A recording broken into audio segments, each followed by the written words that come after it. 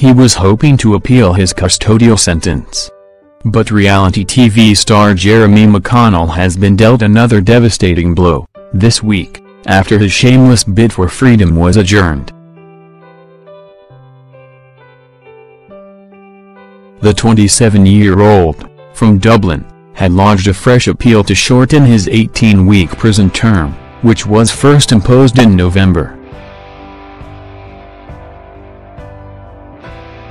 However, his hearing was sensationally postponed at Cardiff Crown Court, today, which means the former CBB star will be sent back to prison alongside murderers and rapists. The father of one, who dated ex-Hollyoaks actress Stephanie Davis, was seen arriving for the review in handcuffs on Friday morning.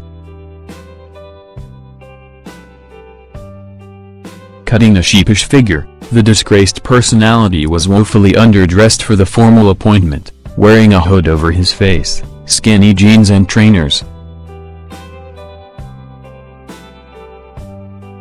Likely hoping for a festive reprieve.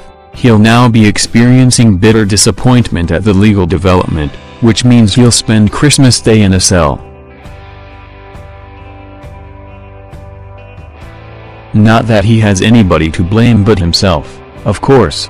Back in August the deadbeat dad was slapped with 200 hours of community service back after he threw ex-Stephanie Davis around like a rag doll as she held their baby in her arms in a vicious attack at her Liverpool home.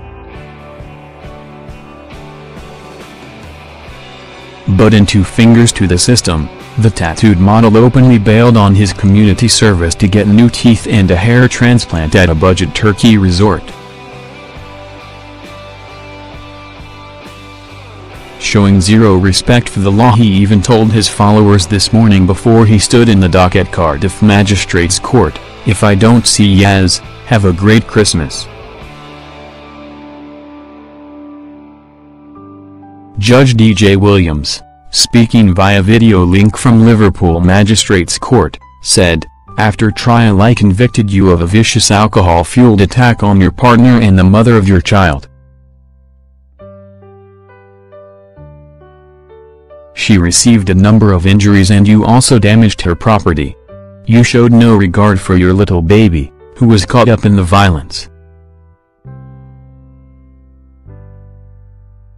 I was anxious to protect other women from your violence in future, so I gave you a suspended sentence with rehabilitation requirements. Your solicitor said it would be unjust to activate that sentence. However I find the reality is that your enthusiasm for cooperation has been short-lived and there's nothing to show in the future things will change. You have done some of the work and it seems fair that I give you some discount for that. I sentence you to 18 weeks of imprisonment out of the original 20.